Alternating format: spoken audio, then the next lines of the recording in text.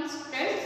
Welcome to the online classes. I am your Shobha Miss from Kids Paradise Public School. So students, today we are going to math. So take out your math copy. Today we are today we are learning what's come after. Okay.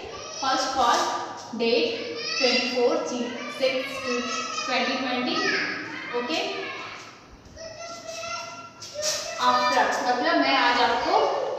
आज after बताऊँगी, समझाऊँगी, ठीक है? आप लोग अच्छे से समझ लेना। आफ्टर का मतलब होता है बाद, इसके बाद। जैसे मेरा यहाँ पे थ्री है। मेरे यहाँ पे थ्री फिंगर्स है और थ्री फिंगर्स के बाद बाद अगर एक फिंगर को मैंने ऐसे करके कर लिया है तो कितना फिंगर हो गया? फोर तो इसके बाद क्या होता है? वो आप लोगों को लिखना है, ठीक है? तो जैसे मैंने यहाँ पे एग्ज़ाम्पल के तौर पे लूँगी यहाँ पे मेरा one chocolate lollipop two lollipop है, ठीक है? तो टू लॉलीपॉप के बाद मेरा क्या है? तो टू लॉलीपॉप है तो यहाँ वन टू लॉलीपॉप है। तो हम यहाँ एक एक और दे देंगे तो मेरा क्या हो जाएगा? कितना लॉलीपॉप हो जाएगा? थ्री ये आपको लिखना नहीं है कॉपी में इसको राइट नहीं करना, बस आप लोगों को समझना है, ठीक है? और यहाँ पे मेरा थ्री लॉलीपॉप है। तो यहाँ पे मेरा क्या हो जाएगा? कितना लॉलीपॉप हो जाएगा? तो one two three and four तो इस तरह से आपको करना है, ठीक है?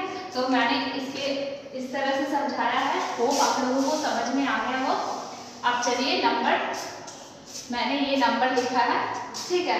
तो आप लोगों को ये करना है। चलिए, दो मैं बता देती हूँ, फिर आप लोग उसे कर लेना ओके मेरा यहाँ वन वन का आफ्टर मेरा क्या होता है? वन का आफ्टर हम लोग उसे हिंदी में बात बोलते हैं बट हम लोग इंग्लिश कर रहे हैं इंग्लिश इंग्लिश मीडियम से है ना इसलिए हम लोग आफ्टर बोलेंगे, ठीक है?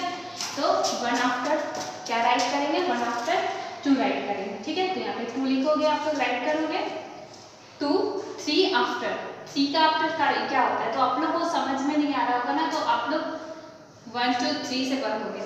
क्योंकि मैंने काउंटिंग नंबर नंबर काउंटिंग करवा दिया था तो आप लोग देख लो वन टू थ्री के बाद क्या होता है? मीन्स थ्री का आफ्टर क्या होता है? तो थ्री का आफ्टर यहाँ पे फोर होता है तो आप लोग यहाँ पे फोर लोग लिखोगे। ठीक है? फिर फाइव आफ्टर क्या होता है? यहाँ पे राइट कर लेना आप लोग। सेवन आफ्टर क्या होता है? यहाँ पे राइट करोगे। नाइन आफ्टर क्या होता है? जो होता है आप लोग राइट कर लेना। इलेवन आफ्टर राइट कर लेना। थर्टीन आफ्टर राइट कर लेना।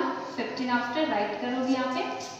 सेवनटीन आफ्टर एटीन होते हैं तो यहाँ पे एटीन लिखोगे। काउंटिंग कर करके लिखोगे तो आप लोग जल्दी समझ में आ जाएगा। फिर यहाँ पे मैंने लिखा है नाइनटीन नाइनटीन का आफ्टर आप लोग को राइट करना है ट्वेंटी वन का आफ्टर आप लोग को राइट करना है ट्वेंटी थ्री का आफ्टर को आप लोगों को राइट करना है ट्वेंटी फाइव का आफ्टर को आप लोगों को राइट करना है ट्वेंटी सेवन का आफ्टर को राइट करना है और ट्वेंटी नाइन का आफ्टर को राइट करना है, ठीक है?